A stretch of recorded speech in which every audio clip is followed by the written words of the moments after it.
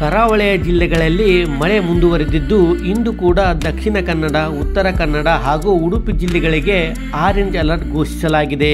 ಚಿಕ್ಕಮಗಳೂರಿನ ಮೂರು ತಾಲೂಕುಗಳಾದ ಶೃಂಗೇರಿ, ಕಳಸ ಮತ್ತು ಮೂಡಿಗೆರೆಯಲ್ಲಿ ಇಂದು ಶಾಲೆಗಳಿಗೆ ರಜೆ ಘೋಷಿಸಲಾಗಿದೆ.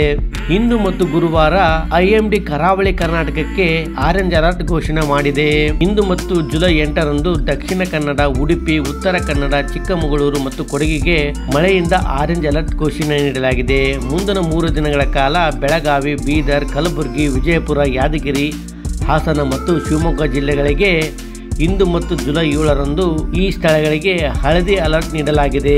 ಕರಾವಳಿ ಕರ್ನಾಟಕದ ಎಲ್ಲಾ ಜಿಲ್ಲೆಗಳು ಮತ್ತು ದಕ್ಷಿಣ ಒಳನಾಡಿನ ಚಿಕ್ಕಮಗಳೂರು ಮತ್ತು ಕೊಡಗು ಜಿಲ್ಲೆಗಳಲ್ಲಿ ಭಾರಿ ಮಳೆಯಾಗುವ ಸಾಧ್ಯತೆ ಇದೆ.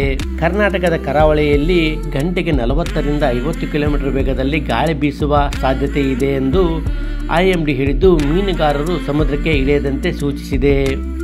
ಇನ್ನು ರಾಜಧಾನಿ ಬೆಂಗಳೂರಿನಲ್ಲಿ ಇಂದು ಮತ್ತು ನಾಳೆ ಮೋಡ ಮುಸುಕಿದ ವಾತಾವರಣ ಇರಲಿದ್ದು ಅಲ್ಲಲ್ಲಿ ಸಾಧಾರಣ ಮಳೆಯಾಗಲಿದೆ ಎಂದು ಹವಾಮಾನ ಇಲಾಖೆ ಮಾಹಿತಿ ನೀಡಿದೆ. ಫ್ರೆಂಡ್ಸ್, ಈ ಮಾಹಿತಿ ಇಷ್ಟ ಆದರೆ ಲೈಕ್ ಮಾಡಿ, ಶೇರ್ ಮಾಡಿ ಹಾಗೂ ತಪ್ಪದೆ ನಮ್ಮ ಚಾನಲ್ ಸಬ್ಸ್ಕ್ರೈಬ್ ಮಾಡಿ.